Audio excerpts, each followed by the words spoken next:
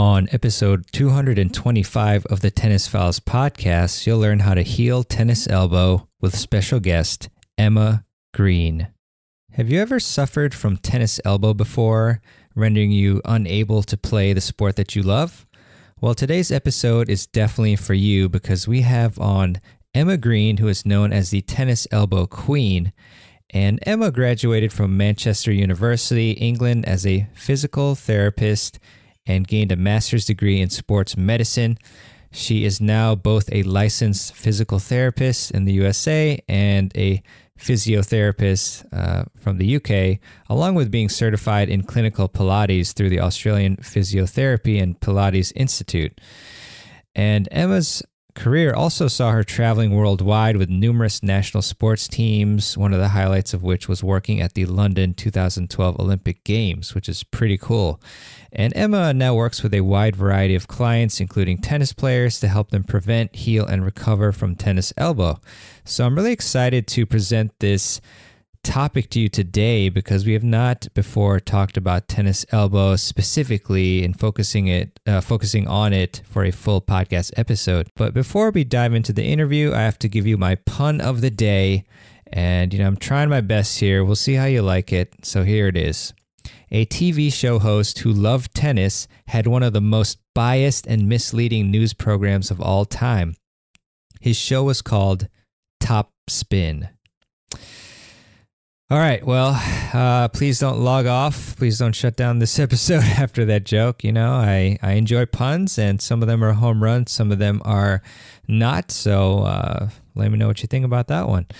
But in any case, uh, once again, really excited for you to hear this episode. I really, really was impressed by Emma's knowledge and expertise on tennis elbow.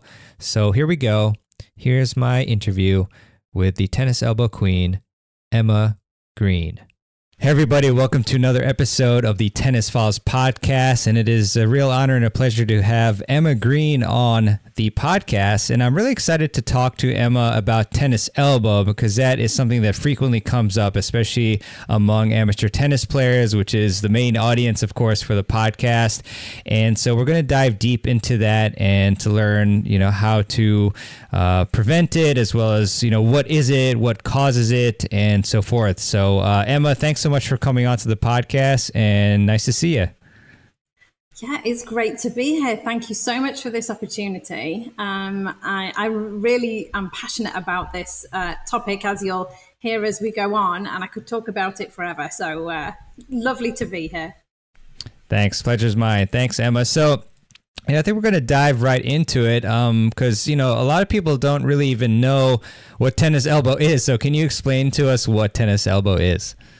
Yeah, absolutely. Tennis elbow is obviously sort of the generic term. Um, the medical term for this exactly the same problem is lateral epicondylitis, which obviously you can see why tennis elbow is kind of the generic term because that's a real mouthful. so basically, what that means is lateral means on the outside, so it's the outside of the elbow that's affected epicondylitis if you kind of you, you, could even do it now. You could feel your elbow that little bony point on the outside of your elbow. That's your epicondyle the one on the outside there's one on the inside too but the one on the outside that lateral epicondyle there's a big tendon that is it comes from these forearm muscles. These muscles form one tendon that attaches into that bony part of the elbow. And when that tendon becomes irritated that's when we get lateral epicondylitis or tennis elbow same thing. Um, and the, the the main thing that's going to cause that is going to be overuse um, there are a few other things that can cause it. Sort of a direct injury is possible to, to flare up tennis elbow, uh, and a couple of other things that, that can do it. But without shadow of a doubt, the biggest thing that's going to give you tennis elbow is overuse. Mm, gotcha, gotcha. Interesting. And um, as far as the technical aspects, like are there certain things that you've found in tennis players that they do technique wise that causes them to get tennis elbow more often than others? Yeah, absolutely. Um, because it's an overuse type issue, the, the gripping and sort of the, the grip of the racket can oftentimes be one of the, the causes of tennis elbow. Um, because it is an overuse problem, it's probably been building up. It's been bubbling along for a while before you even feel it. And this is often one of the things that is is sort of most confusing to people. They can be kind of like, well, it just came out of the blue. And you've almost got to backtrack three, even six months prior to when you first felt those symptoms to say, well, what changed? Because something changed three to six months ago, whether you, whether you changed your racket, whether you changed your grip, whether you increase the frequency of, of how you play. Maybe you changed your biomechanics. Maybe you changed the way you hit a certain shot. But something changed three to six months before you started feeling those symptoms. It could even be restringing. Um, you you restrung the racket it can be a ton of these different things. I was actually on a call um, earlier today with a gentleman who had suffered with tennis elbow for, for over two years. And he put it down to the fact that he'd played a really hard game of singles when he's used to playing doubles. So he'd played a really hard game of singles and then went on a mountain bike ride. And again, a tough mountain bike ride where he was kind of, you know, cranking on the brake a lot. So you can see how much that arm would have been used in, in both of those activities. It's unaccustomed activity, and that was just enough to flare him up. And it lasted for a full two years. Wow, very interesting stuff. You have a lot of questions uh, as follow up. So, I mean, is it um, uh, possible that like players uh, being too tight in their arm can also cause tennis elbow? Absolutely, that absolutely, and it's one of the um, this is one of the symptoms that a lot of people do complain about as well. That they're, they're obviously very tender over the tendon itself because that's the part of the tissue that is uh, irritated, but the tendon is attached to the muscles. If those muscles are tight, they're going to pull on that tendon, they're going to tug on that irritated tissue, and that's actually going to prolong the problem. Now, if we're in pain, our muscle tension goes up. So you can see how those two things are are very um, they're inextricably linked. Right. So if you're feeling pain, your muscle tension is going to go up. If your muscle tension goes up, you're going to feel more pain. And it just, it's a cycle like that. So that is one of the big things that we really work on in the very early stages of um, treatment with tennis elbow is bringing down that muscle tension and trying to decrease that, that tightness. Exactly right. Great, very good to know. Um, and then in terms of the the changes that you mentioned, like as far as like racket changes and string uh, changes, what changes and in what direction usually cause tennis elbow? Oh, that's the million dollar question, isn't it? and Unfortunately, there's no one answer to it because we're all so individual. You know, some people when they string their racket tight, you know that that can cause it. When some people don't have it as as tight, hmm. some people with a, a larger grip, some with a more narrow grip. It is so individual. Yeah, that is really interesting actually to hear that, you know, because I, I, was predicting, I guess, that, oh, you know, like if you switch to a thicker string or you string it uh, higher tension, then that's going to make the problem happen. Um, but yeah, I, you know, it's interesting to know that's the other way around potentially. Um, so that's that's pretty neat. Uh, and then also, uh, just in regards to to um, golfer or golf elbow, like, you, is that the the opposite side of, of the tendon you identified? Yeah, okay. It is. Remember, we talked about lateral epicondylitis being on the outside. That's tennis yeah. elbow. The bony part on the inside of the elbow, that's your medial mm-hmm. epicondyle. That's where you would get golfer's elbow. And obviously, not all tennis players get tennis elbow. Not all golfers get golfer's elbow. I've had golfers who get tennis elbow in their non-dominant arm. It's you know, it, it's it's just the phrase for it. Okay, gotcha. And and which uh, which one is actually a worser condition? I know we were focusing on tennis elbow, but is is one worse than the other? No, they're just they're exactly the same pathology, just mm. in a different part of the body, and so the treatment, the um, sort of the length of time they can last, all of that is exactly the same, just a different part of the body. Gotcha. Thanks, Emma. And so I'm curious to know, obviously, like how how did you become passionate in tennis elbow? Like, did you get tennis elbow and then you tried to figure it out, or like, how did that come about? Great question. So actually, when when I was a young kid, my my mom had tennis elbow. She was mm-hmm. not a tennis player, but she was at home with three kids, and I think we gave a tennis elbow, or sort of like keeping house gave a tennis elbow. And so I'd watched my mom at this very young age um, struggle with this condition that obviously at the time I, I didn't know anything about, other than that my mom was struggling with it. And I, I do know she had a, a cortisone injection into it, and she I, I remember her telling me it was a, the most painful thing that she had ever been through, and she mm. had three kids. Um, and then six months later, she went back and had another one because the first one didn't work. And you know, you kind of think, gosh, if somebody is going back to have something that is like the most painful thing they've ever experienced because they're struggling so much with this elbow problem. And so I guess that was kind of at the back of my mind even before I became a physical therapist. Um, and, and in the very early stages of, of my my career, or essentially the first half of my career, I was I trained in the UK, so I, I worked in the UK for about ten years before moving to the US, um, and I was very much working with sports teams over in the UK. So I would travel with sports teams, um, including tennis, and so. Uh, you know, I was sort of exposed to the different problems that they get, but it wasn't until um, 14 years ago when I was over here in the US, I was working at the local hospital. Um, my having having a couple of kids had slowed me down from traveling all over the place with sports teams, unfortunately. But um, but fortunately, I was in a position where I was introduced to a professional drummer who was suffering with tennis elbow. Um, he had suffered for 18 months. He wasn't able to play, and obviously that was his livelihood. Um, and he'd been everywhere, tried everything. You know, my mum had had two cortisone injections. He'd had I, I, countless different treatment techniques, different injections, everything. Nothing had worked. Um, and he ended up in front of a surgeon and uh, and said to her, you know, just give me surgery. And I, this is, I need something that is going to help me with this.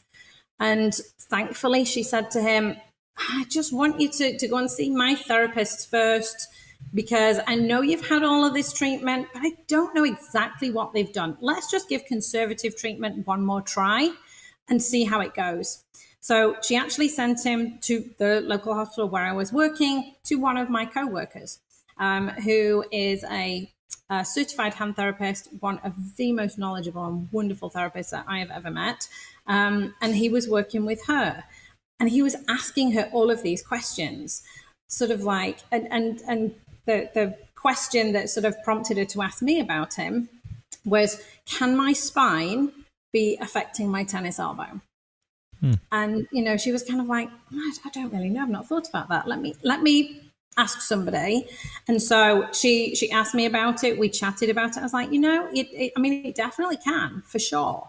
So let me see him. He was transferred onto my list, and over the next six months, I just I, I just got really interested in his case and I just really wanted to help him. And so I researched all the medical literature at that time. I was like, there's got to be stuff out there about healing tennis elbow. And there was a lot of stuff out there about healing tennis elbow, showing that most of the treatment techniques that were were being done at the time were not actually that effective. Mm. So there was lots of literature showing us what didn't work, but not very much showing us what did. So I knew how to heal Achilles tendon problems. I'd done that really successfully in my sports career and with athletes. And I was like, you know, I wonder if I can take those principles and apply it to the, the elbow and let's see if it works. So over the course of six months, we, through trial and error, we tried all of these different things. And we got to a point where he was able to get back to doing everything he wants to do with no restrictions. His pain was completely resolved, but it took lots of, there, there were lots of layers. And this is when somebody's had tennis elbow for a long time, it starts to affect more things. It's almost like when you put, drop a, a, pebble into a pond and you get that ripple effect. You know, we think very much of tennis elbow as being this one spot here where we can really put our finger on it, and that's where the problem is. But by the time you've had this for, for 18 months, it had affected his shoulder, his shoulder blade, his neck, his upper back his his wrist and hand as well as the elbow and the nerves that come out of the neck and all the way down to the tips of his fingers So we had to address all of those different things to get him to the point where he was 100% healed. Wow, that's really fascinating. Uh, you know how many things can contribute. So that that's really really interesting. Um, you know, I, I try to ask you um so, some various scenarios. Would appreciate your advice. So like, I guess if if somebody like first feels like a little bit of tennis elbow, um, you know, when they start hitting, but it's not too bad. Uh, what what what is the optimal thing to do at this point? yeah, de- definitely, and it's it's one of those things that there is actually one stretch that you can do that will prevent tennis elbow. It's mm. it's also the stretch that you can do to it's part of the treatment for tennis elbow as well. So I have I've got a video of me teaching that stretch that I'm going to offer to your listeners. So Great. I'll give you the link to that and they can get that stretch because it's it's good for both. It will prevent and it will help to treat. And for exactly the reasons that you brought up before, you know, when that forearm starts to develop tension, when we start to get tension in those muscles, that's going to start tugging on the tendon. The tendon is going to start to complain about that. So if we can decrease that muscle tension using the stretch, you can prevent or treat tennis elbow with it. So that's that's one of the biggest things that I recommend is this stretch. But in conjunction with that, you're actually going to heat your forearm. And mm. this is very counterintuitive. Many tennis elbow sufferers who who come, first come into my world, um, you know, and I ask them about, well, what are you doing? And they're all icing their elbows. They're icing it and, you know, trying to bring the inflammation down and they're trying to ice it. And I, you know, I, I always say to them, is it working? Like, well, not really. Like, okay, maybe let's change that. Let's switch it to heat. And that's one of the biggest differences that that people find when when they find me.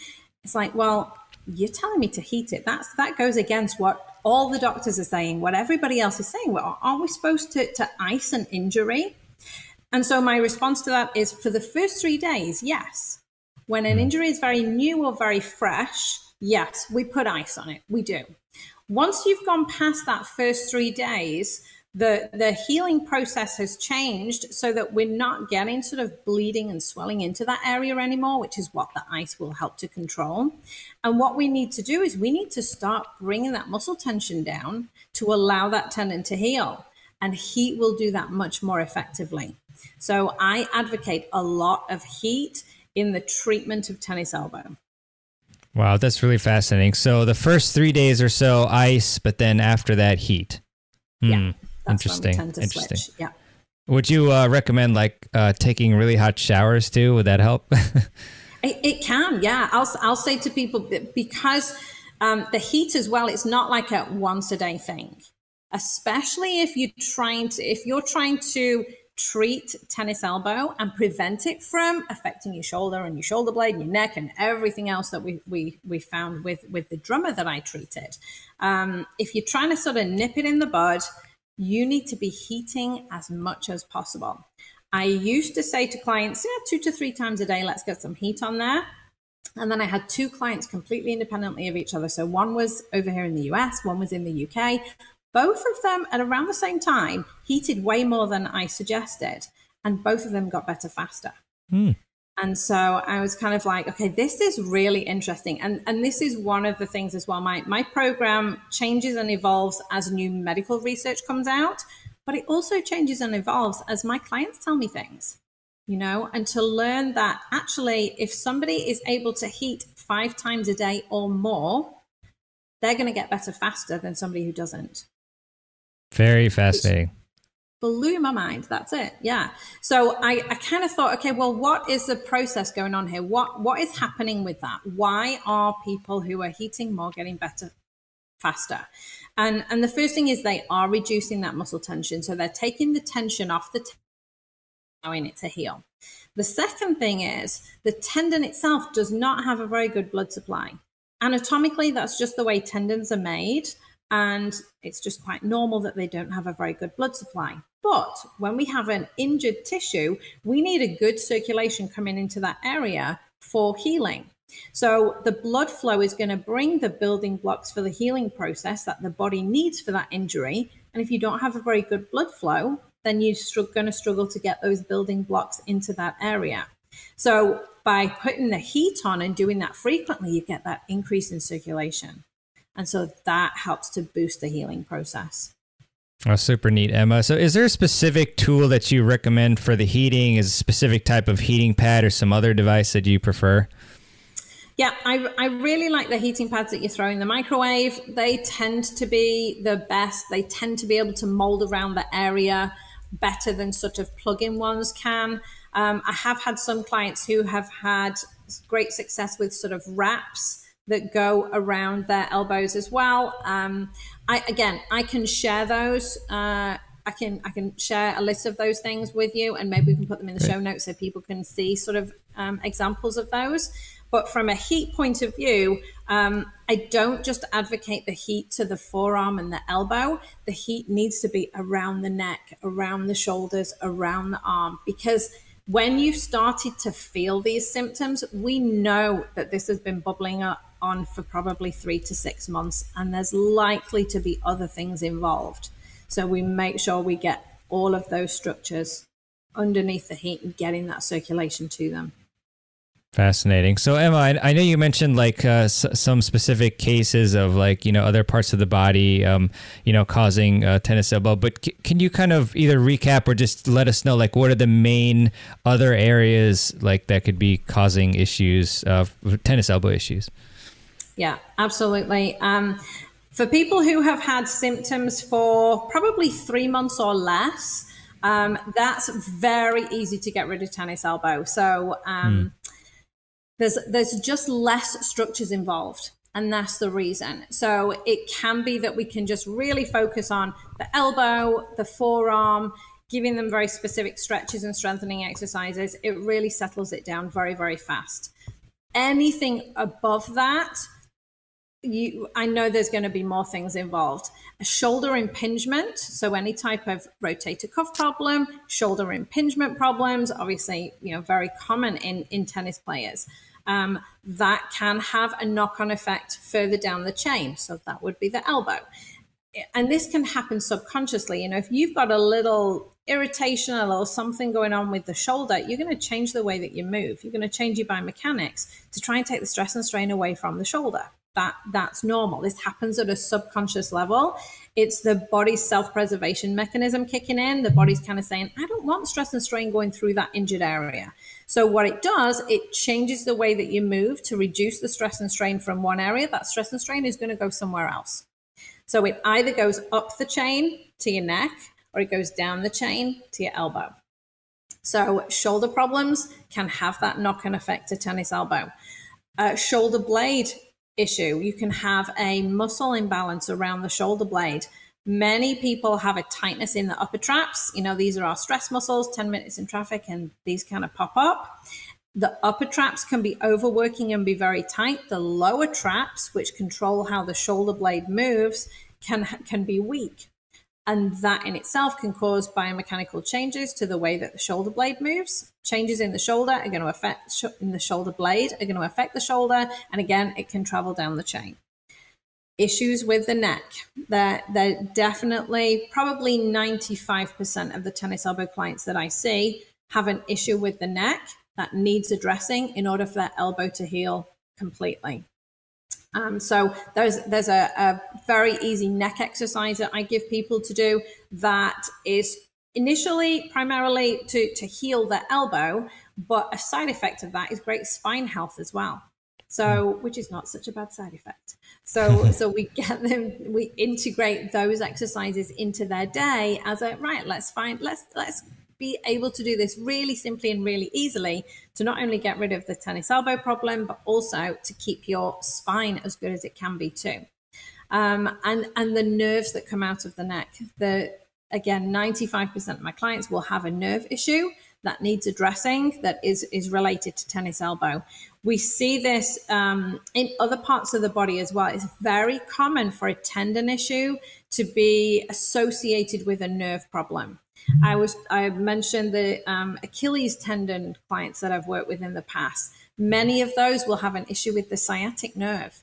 and they don't even know about it because they're so focused on this painful tendon it's not until we do testing that it's like actually there's there's this issue in the nerve that we need to address as well so it's just peeling back all of those layers and making sure nothing is missed often when i i talk to clients who have suffered for a long time and you know unfortunately people are out there who've suffered for you know the gentleman i was talking to earlier on this, this morning two years um, the the uh, drummer who came to see me 18 months. You know, I've seen clients who've had it for seven years. I'm working with a lady right now, she's had it for 12 years. I mean, it's just, it's such a long period of time.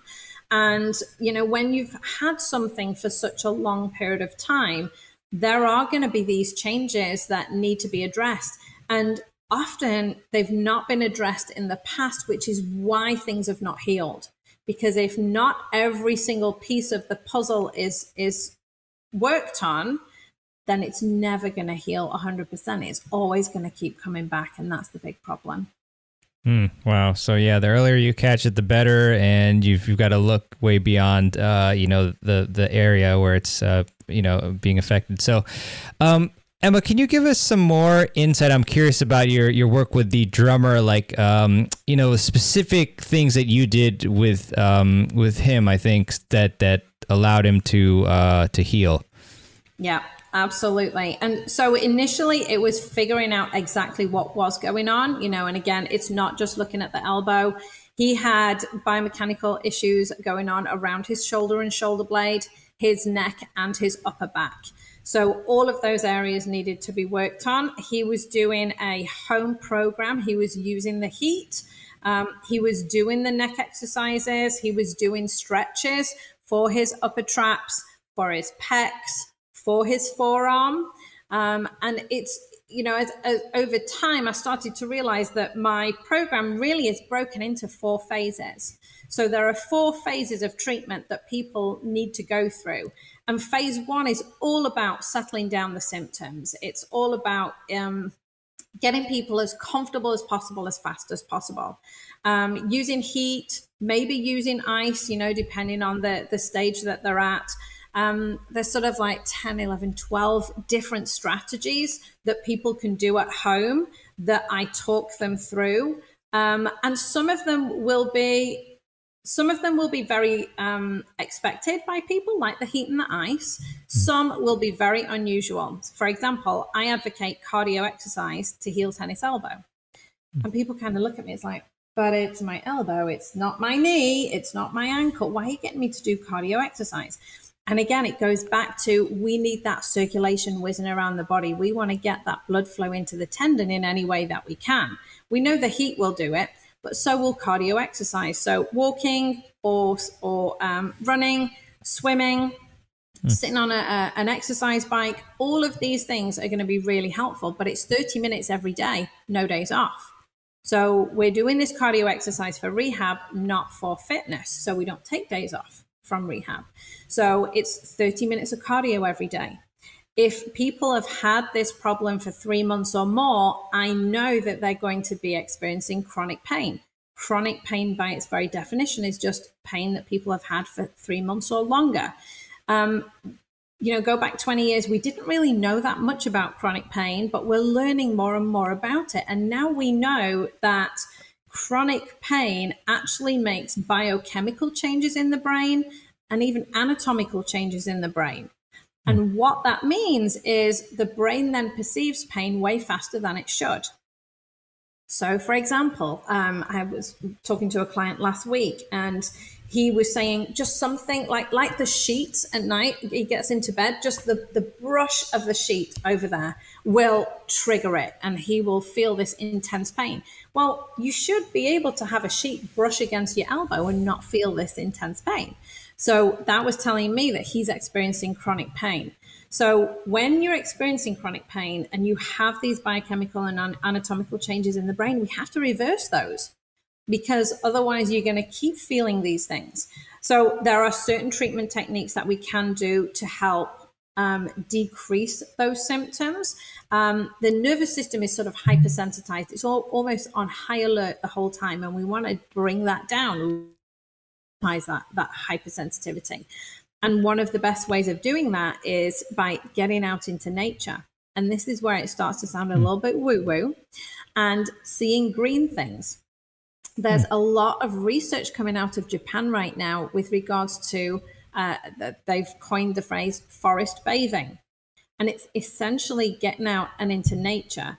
And what we're seeing is that just getting out and being in amongst nature is it will change the biochemistry in the brain in a positive way. So it decreases stress hormones like cortisol.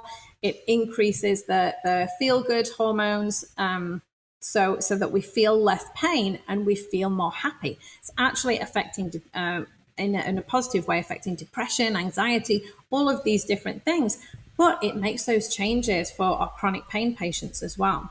So when people are doing their 30 minutes of cardio every day, I'm saying to them, get outside, go and see green things, you know, see trees and grass and flowers. And if you'd have told me at the start of my career that I would be advocating this, I would have told you you're bonkers. I, like, that's way too, way out there for me. But the research is backing it up and it and it works and it helps these clients. So getting out and seeing green things is another strategy that we use. Um, progressive relaxation brings down the muscle tension. Meditation for the same effects of the brain biochemistry and visualization. Visualization is huge for my athletes and my musicians in particular. So we use a lot of those strategies in phase one. Um, then we move into phase two, which is all about um, normalizing the soft tissues. And, and you touched on that right at the beginning of this episode when you asked about the tension in the forearm muscles. And that's exactly it. We have to normalize that tension. And so there are 15 different stretches and soft tissue techniques that we use in phase two that bring down that muscle tension. And then we get to phase three. Phase three is all about strengthening it's where the magic happens. This is where we actually heal the tendon. There are very specific exercises that we can do that will heal this tendon. And sometimes, you know, people will sort of jump into phase three and think, I've got, I've just got to strengthen it. But if you've not normalized the muscle tension first, those strengthening exercises are going to irritate it and make you feel worse. And that goes back to that muscle tension. If your muscle tension is up and you do a strengthening exercise, that muscle tension is just going to go higher. Hmm. That's going to pull on the tendon. That's going to make you feel uncomfortable. You're not going to be happy about it.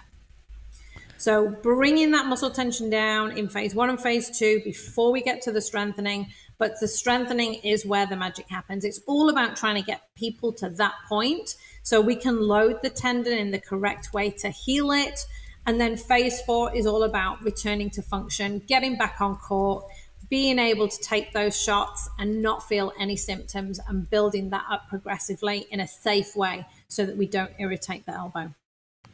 Excellent, Emma. Thanks for that. Very, very good stuff. And so, some follow ups naturally. Um, first off, uh, curious about the the second phase. Uh, so, how do we know when our tension is actually normalized? I love this question. Um, so I use the steak test, and and this is. Uh, I guess it's something that I just kind of came up with myself because I was already doing a lot of virtual work pre-pandemic. So I was already on Zoom before everybody else was on Zoom because I have clients all over the world. And so obviously they couldn't come and see me in the clinic. So I'm like, how can I tell what their muscle tension feels like without me actually putting my hands on them? So I developed this test and you can try it right now. So what you're going to do is you're going to, you want your arm to be nice and relaxed. So we're not going to hold your arm up because then there's tension in the muscle. So you can either rest your arm down on your lap or on the arm of the chair or on the desk in front of you, kind of wherever you are.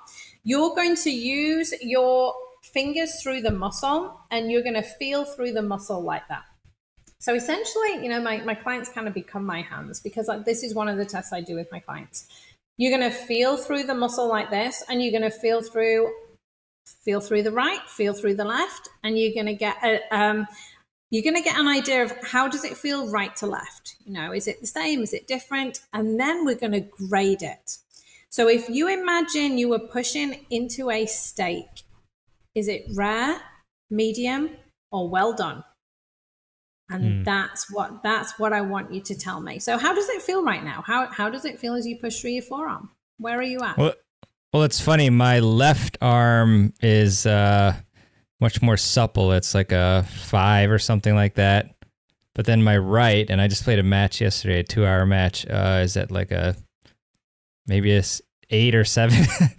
yeah. Okay, so we're a little well done on that right side. So obviously yeah. you're right-handed. Mm-hmm. So you're feeling more tension in your dominant side. So mm-hmm. that would be if you were one of my clients and you were sitting in front of me saying, I've got these symptoms, this is how my muscles feel. So if you had just given me that information, it's like, okay, we need to really work on the phase one and phase two strategies for mm. bringing that muscle tension down. So you're going to be heating, you're going to be stretching, you're going to be doing some soft tissue techniques. I, um, I teach soft tissue massage, I teach trigger point techniques. There are different things that we can utilize to bring that muscle tension down. But we've got to bring that muscle tension down so that right feels the same as left and they, they feel, you know, kind of medium rise, kind of a, a good way for them to feel before we start the strengthening exercises. Because if you jump in too soon, it is just going to start tugging on that tendon and it's not going to like it.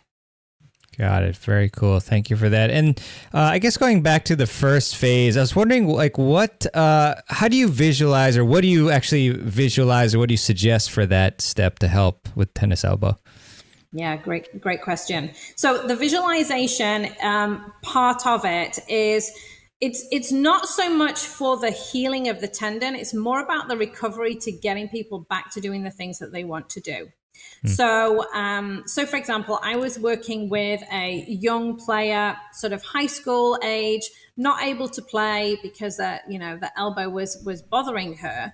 And but what we didn't want to do is lose any of her skills while she couldn't play while she was going through the rehab um, and so visualization became a daily practice for her so that she didn't lose those neural pathways so i'm just going to backtrack a little bit basically when we're learning a skill and and I love to give you know, the uh, example of a little kid riding a bike. So if you think of a really little kid, a young kid, first trying to learn how to ride a bike, and they're they're, they're trying and they kind of fall and they try and they fall.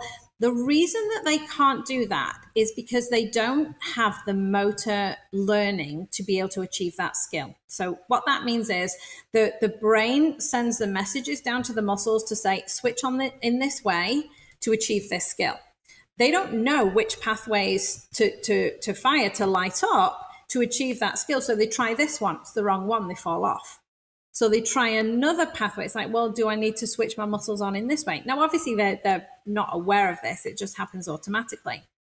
But once they get that skill and they're able to ride along and, you know, big smile on the face and that, look at me riding on my bike, they they are then strengthening that neural pathway they found the right one they found the right sequencing of their muscles their muscle activation and each time they now ride the bike they're strengthening that pathway to say yes this is a good one this is a good one this gives me success in this skill now as tennis players we're constantly strengthening those neural pathways when we make that absolute killer shot you know when when we're being successful in taking the shots that we're, we're doing. And we don't want to lose those skills when we're not able to do them physically. So we visualize them. And the visualization is incredibly powerful to maintain those neural pathways because as soon as we stop using a neural pathway, it will start to weaken. And, and, and we don't want to do that. You know, it, it's, it's that old saying, um, use it or lose it. So we want to use it but we can't physically use it right now. So we're going to think about it. So going back to the high school player, um, so I, I would talk her through this when she was learning how to do it. And basically, so so you know, you you're lying down or you're sitting somewhere comfortably, and you're going to really use your imagination. You're going to really you, you're going to be in that moment. So, you know, you can you can smell the grass, you can feel the sun on your face, you can feel the racket in your hand, you can feel the ball in your hand, you can see your opponent, you can hear the birds tweeting around. You just want to be totally in that moment. And then you you you throw the ball, you make the serve. you you hear the sound of, of the racket connecting with the ball you just want to be totally in that moment because the brain doesn't know what's real and what's not i know that sounds a bit strange but the if you are totally in that moment the brain believes you're there and it fires those neurons it fires those neural pathways you're not moving but you're strengthening the neural pathway so we don't lose that now, athletes will, uninjured athletes will use this technique. And this is how I was introduced to it years ago when I was a gymnast. Um, our coach introduced us to visualization. Um, and he would get us like to, before we started visualizing ourselves doing the different moves and the the the, the different um, tricks. He would get us to think of a teacup and I can remember sniggering like heck because, like, what is he going on about? Think of a teacup. This is crazy. But he w- he would get us to visualize a teacup and then visualize, okay, now you're on the beam and you're doing this move, or you're on the bars and you're doing this move, and you visualize yourself doing that move perfectly over and over and over and over again. And again, the research that's coming out recently has shown that they, they looked at um, basketball players and they looked at basketball players who shot 100 baskets and basketball players who visualized themselves shooting 100 baskets.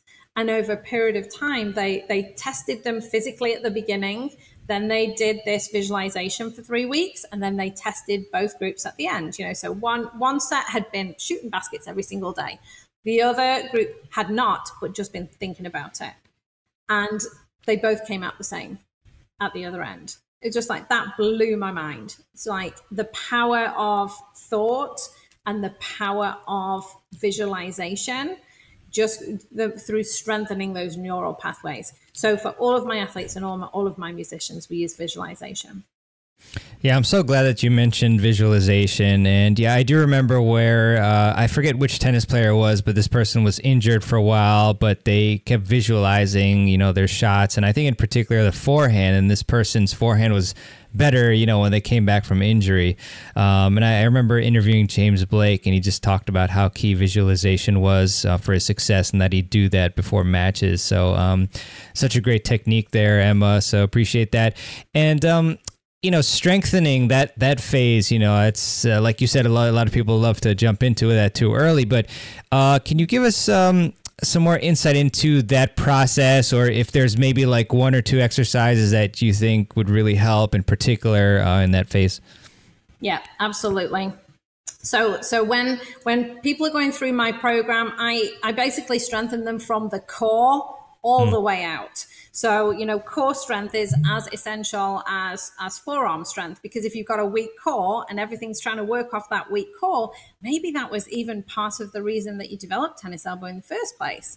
So, I strengthen people through their core. I get them to do strengthening exercises for their neck, their shoulder blade, rotator cuff. We address all of those areas. Now, to heal the tendon, there's a very specific exercise, heavy load eccentric exercises will heal the tendon.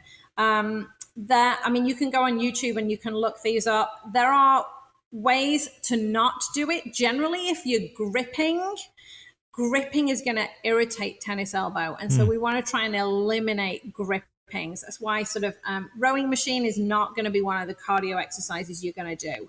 Um, but the, the the gripping is something that we need to avoid doing the exercises in a very specific way that's not going to irritate the tendon is the key to it. So, the, the concentric portion of the movement, which is where the muscle shortens, is going to irritate the tendon. The eccentric portion, where that muscle lengthens, is not going to irritate the tendon. So, you know, getting getting coaching from somebody who is well versed in those exercises is really important. And and sometimes I will teach clients this exercise. They will watch me do it and I will go through this exercise and I'll show them how to do it. It's like, right, go away, do it twice a day, three sets of 15, twice a day. This is what you're going to do. And they'll come back the next week and I'll watch them do it. And they're not doing it right, you mm. know? And it's so essential to do it correctly because the slightest little thing that's not correct is going to irritate that tendon or it's going to irritate your back or it's going to irritate your shoulder or your wrist and hand. So it's that that part of it is super important to get guidance so you know you're doing it correctly. Um, but everything then working together getting the core activated getting all of these different things working correctly to build that strength is essential. Um, I've, I spoke to a tennis player from the UK about six months ago, and, and he had successfully rehabbed himself from tennis elbow, um, but couldn't get back on court. And he couldn't understand why. He was like, you know, I feel fine doing everything, just like all my normal activities through the day. I'm completely fine, but I just cannot get back on court. I start feeling it as soon as I start hitting the ball. I'm just so frustrated. And so I asked him about his rehab, and he told me what he what he had done, and it was pretty comprehensive. And I was like, "That's absolutely great. How heavy did you get on your weights?" And he said three pounds. And I said, hmm. "Well, I'm not surprised you can't get back on court. You know, you, the the exercises that that um, you need to be doing, you need to be at least 12 pounds plus to be getting back to playing tennis." Um, and again, that's that another big part that can be missing with people if they don't get heavy enough with their their strengthening exercises. So my clients are are um, advised that they need to be somewhere between five and eight pounds to be pain free doing their normal day to day activities. They need to be between eight and 12 pounds to be doing sort of more moderate intensity activities. And then with 12 pounds plus, for more intense activities like tennis, golf, weightlifting. Um, I've got a client in the UK who, again, I was talking to this morning. He races motorbikes. So not only is he sort of like, you know, cranking on the brake and the, the, the, um, the, the gears, He's also lifting his bike in and out of the truck when he's at races. And so he had developed, well, tennis and golfer's elbow in both arms. So it was quite a journey. But he's actually, he's, he's doing 25 pounds with his weights. So, you know, it depends on what you want to be doing. If it's really high intensity, you definitely need to get your weights up. Three pounds is never going to be enough. Yeah, I love that, Emma. Thank you for that. And so I guess, you know, with, uh, you know, makes a lot of sense in the, especially the eccentric phase, you know, that you, uh, you want to have enough weight. Um, but how do you, how do you accomplish that, uh, you know, using enough weight without gripping it? Because a lot of us, you know, immediately we think about like a dumbbell or a barbell or something like that. Yeah, and I, I, do teach this with a dumbbell, and and there are ways of holding that dumbbell. So, and and again, this is when I'm when I'm first teaching people how to do it. It's like this is not a death grip on you, your dumbbell. You don't want to be really gripping hard. Mm. You're just holding it enough so that it doesn't fall to the floor. That's all. And that's okay. I see. I see. Awesome, Emma. Um, I know we uh, have to conclude soon, um, but let's see if I can get some more questions in here. Does does um, I'm wondering if diet or sleep or anything else, uh, you know, has an effect on tennis elbow as well. Yeah, absolutely. And I, I cover both of those things in phase one. So when we're really setting the foundation for healing, I cover both both um, diet and sleep. Sleep is when we heal. So if you're not getting enough sleep, if you're not getting good quality sleep, your body is going to struggle to heal. So it's really important to try and get those eight hours if you know if that works for you. Um, cutting down on the caffeine just before you go to bed getting off the screens before we go to bed so we get rid of that blue light it allows our brains to go to sleep. So yeah i go through all of those different um, strategies and then trying to keep the same bedtime and the, the same getting up time every single day. Our body's just like routine you know we're creatures of habit. And then switching to diet our when when we are in a healing phase when we're trying to heal an injury our body needs protein for healing. They're essentially the building blocks for healing. So we need to be making sure that we are taking protein in. And i advise people to think about their protein every single meal even snacks. Um, and it can be nuts. It can be you know all different types of protein. It doesn't have to be meat but making sure that you are getting protein in so that the, the body has those building blocks for healing that it needs. If you're not taking enough in through your diet, then the body will take it from a source that it has access to, and that's your muscles. And we know with tennis elbow, you're already going to have a weakness in the muscles because you're in pain, you've not been using the muscles normally. So that weakening starts within 24 hours of the symptoms.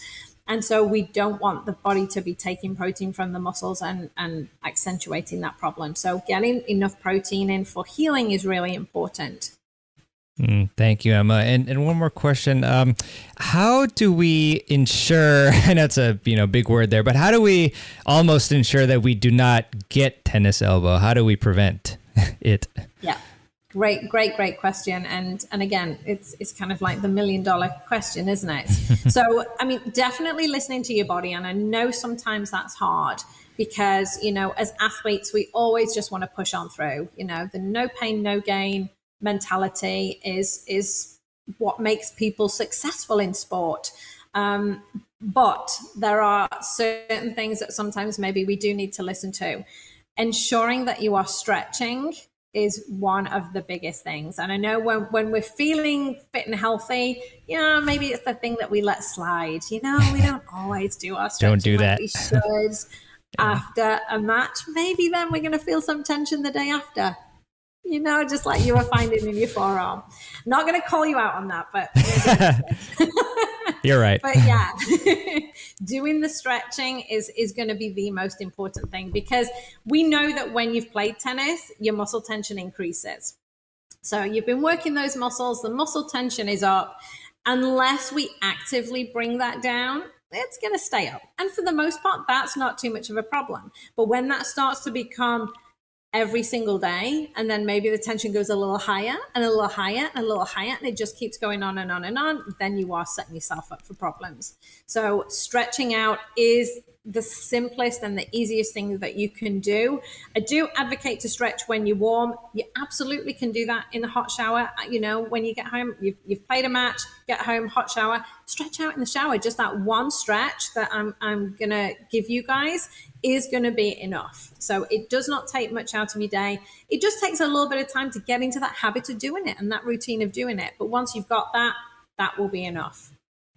Wonderful, Emma. Uh, you know, it's very clear after this interview that you truly are the tennis elbow queen. So uh, I really love it. Um, so, Emma, let, us uh, educate the audience. I'm sure many of them will want to, you know, connect with you or find out, you know, what else you're doing and other content. So, can you let us know like the best place to to follow you or places? Yeah, absolutely. So, I, I do have a website, tenniselbowqueen.com. Um, I have a Facebook group um, for tennis elbow sufferers uh, which is Elbow Pain Relief with the Tennis Elbow Queen. I have a book uh, that you can get on Amazon. Um, and nice. my email, I'm more than happy for people to email me, emma at tenniselbowqueen.com. Elbow Queen. Great. Awesome. Well, we will have all of these links in the show notes, uh, on the show notes page, as well as the uh, stretch, I believe, video that you mentioned, Emma. Uh, how about socials? Uh, yes, yeah, so I am on Instagram, uh, Emma Green Online, uh, and Facebook, Emma Green Online as well. Okay, awesome, awesome. Well, thank you so much, Emma. I think we just hit time, but I highly encourage everybody to check out uh, tenniselbowqueen.com and the Facebook group as well. And again, we'll have all those links. Check them out. And I want to thank you so much for all the great information that you've given us, Emma. And I hope we can connect again in the future. And it was really awesome to uh, hear uh, your expertise uh, on the podcast. So thank you so much. Oh, you're so welcome. It's been my absolute pleasure to be here. Thank you for the opportunity. Anytime. Thanks, Emma. All right. I really hope that you enjoyed my interview with the tennis elbow queen, Emma Green. I love that that rhymes. Uh, very good nickname selection there, Emma. And if you did, I really would appreciate it if you would leave a review for the Tennis Files podcast. I think we still might be at 99 reviews, so one more till 100. Uh, if you are that person, that would be really, really cool, and I'd really appreciate it. And as well, uh, we do have all of the links to the show for today that were mentioned in the show notes. So just go to the show notes page, uh, which will be in your app of choice that you use to listen to the show. And with that, I do want to leave you with a quote, as I often do at the end of this show. And this one is by Confucius. And Confucius said, To be wronged is nothing unless you continue to remember it. Uh, this is a great quote because this can be applied to tennis as well, in the sense of um, you, you know, making an error or you know having a, a ball called out against you, and if you keep stewing over it, then it's going to really affect you in a negative way. Um, but if you don't let it affect you and you just try to react positively, then you will um, succeed, uh, or at least you know do your best to succeed, which is what we have to all do. So. I hope you like that quote, and I really hope that you liked this episode and really appreciate your continued support of the podcast. And we've got a great one coming up next week, uh, which should be with Coach Vesa Ponkka from uh, the Junior Tennis Champion Center, a great facility that has housed many great players like uh, Denis Kudla, who has previously been on the podcast, as well as Frances Tiafoe, who I would love to get on the podcast at some point.